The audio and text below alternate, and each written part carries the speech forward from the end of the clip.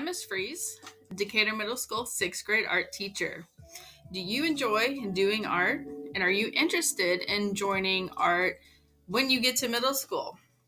Now, the good thing about art in middle school is we get to do it every single day. So, not just once a week or every other week.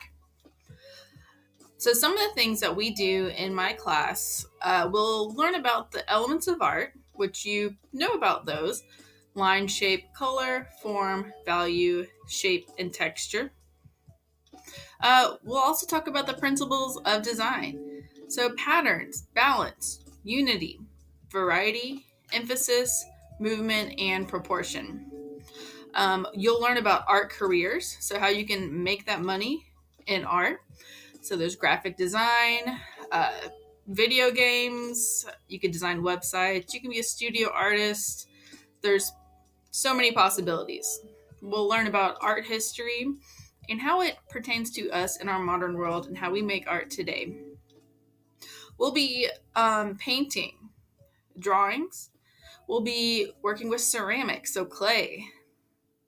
We'll be doing weaving and other fiber arts, digital art, collages, and different forms of printmaking. Now, if you're interested in any of the things I've been talking about and you want to take art with me, make sure you sign up for sixth grade art here at Decatur Middle School. And I will see you then. Bye.